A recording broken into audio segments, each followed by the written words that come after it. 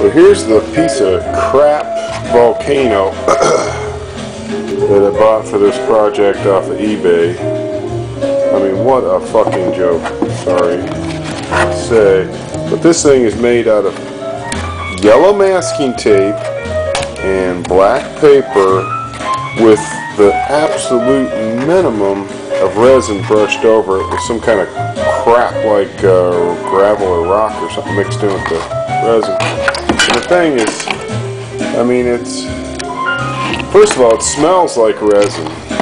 This would kill your fish. You put this thing in your fish tank, your history. This thing is gonna kill your fish. It's loaded with resin. It's still juicy, still sticky and juicy when you pull the crappy resin off of there.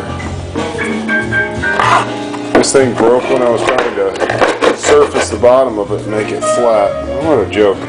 So I took a piece of plexi and I heated it up with a torch and I formed it over a form and I just kept torching it and bending it and tweaking it and warping it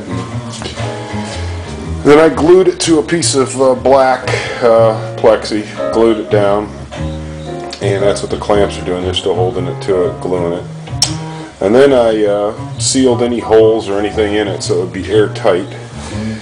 And because uh, uh, fluid's going to come up out of this hole, I'm going to drill and tap and put a barb on the bottom, and fluid's going to come rushing up out of the top of it like magma. And so basically, I've been screwing around with uh, every paint in the shop, just trying to get something that looks to me like pyroclastic flow, you know, something that looks like a freaking erupting volcano.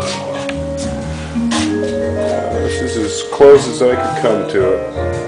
It's a hell of a lot better than this piece of crap. I mean, give me a break. I wouldn't put that in a damn doghouse. But uh, this is looking pretty cool. This thing is pretty sturdy too. It's it's all plexi.